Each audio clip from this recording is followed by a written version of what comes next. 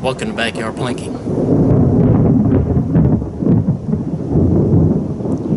Almost backyard swimming. We'll clear something up real quick. Funny story. The video I posted Saturday with the Umarex, Broad Axe, Road Axe, you know, it does have an A in it, but it's in the wrong spot. Whatever. Caption under there says, A cameo appearance by Phil the Squirrel. Now, this is Phil the photobomb squirrel. Some of you might have missed him. My better half did. She's like, you know, I watched that damn thing three times and I still ain't seen no squirrel. About a minute and two seconds into it, if you look over my left shoulder, you'll see him. Right over there, hangs around. Hey, what's happening? Off to the side he goes. He is also mentioned in the next air gun video that you'll see eh, probably tomorrow. Now, I put the cameo thing in there because I knew I'd get grief from somebody. I also knew I'd get grief from some people I know. Now, I'm not sure what they were doing up in my part of the country today, but uh, they were here. Not here, here, but here, there. And I run into a couple of guys, and uh, it's part I don't understand.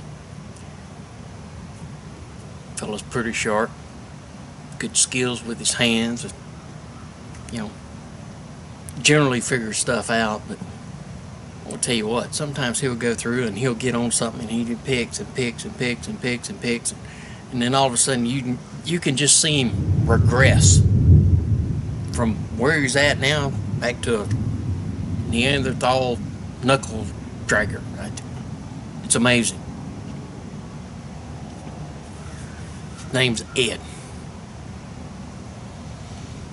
Hey, saw that video you made.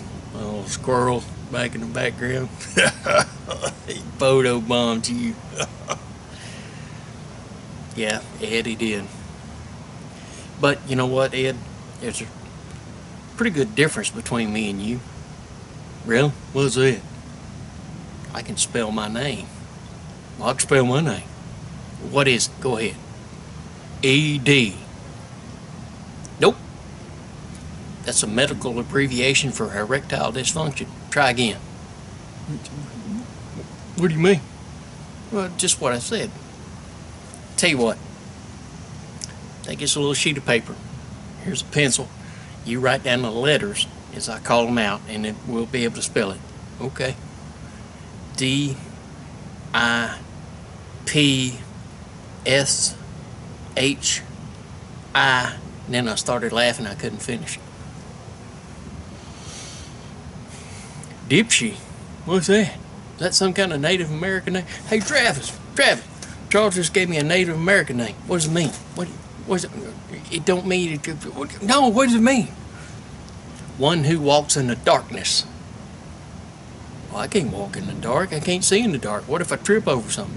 Ed, don't worry about it. You trip over stuff all the time. Your words, your own two feet. It's fine. Don't worry about it. Dipsy, huh? Dipsy. I like that. That's not bad. You know what I think? You know what? I think I'm gonna have that put on a shirt, have it put on the back right there, dipshi, and have a big number one put on the front. Do that, Ed. Send me a picture. Anyway, explanation about the squirrel.